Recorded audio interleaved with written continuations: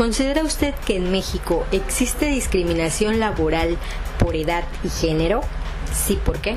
¿O no, por qué? Sí, o sea, está muy difícil la vida ahorita, la discriminación y todo, y que todos seamos iguales. Reformulando.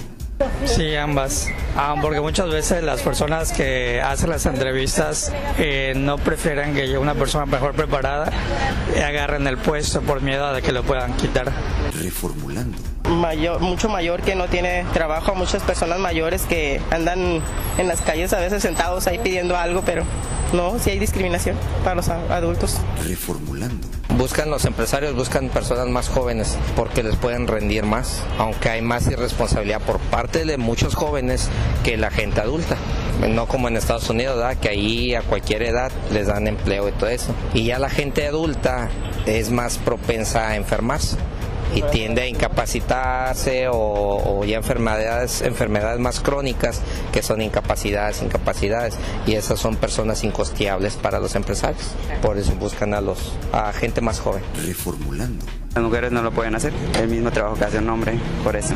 ¿Y crees que hay discriminación de género y edad? Más o menos.